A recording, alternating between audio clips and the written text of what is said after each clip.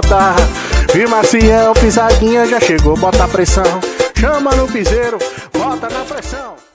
Beleza, gente, estamos aqui pela Rede Abaí de Comunicação. Está aqui com a gente o Carlinhos de Ivo, que é filho da terra, empresário em Paramirim. Carlinhos, que você falasse um pouquinho pra gente, né? A festa tradicional de Catulés, né? Eu sei que você sempre está aqui na festa prestigi prestigiando, né? Gostaria que você falasse um pouquinho da expectativa de estar aqui hoje, né? Curtindo a festa tradicional de Catulés, né? E eu acho que é muito importante toda a comunidade reunida e participando dessa belíssima festa aqui em Catulés de Cima.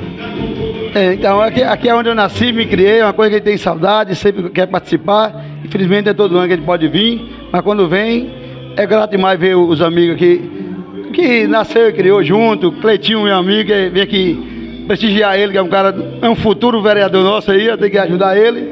E também é onde relembrar o passado da gente, né? Que hoje a gente reside em Parabirim, gosto muito, mas não esqueça da nossa terrinha natal. Aqui é a gente nasceu e criou, né, Cadinho? E ama a cidade. Parabéns pela festa. A pracinha foi linda demais. O som legal demais.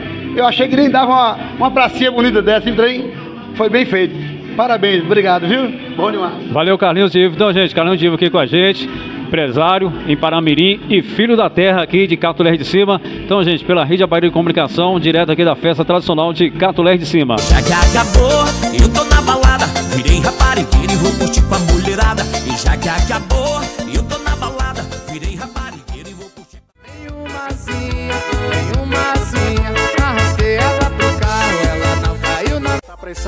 Chama no piseiro, bota na pressão. Chega o fim de semana, hoje eu quero é sair, eu vou sair pra bagaceira.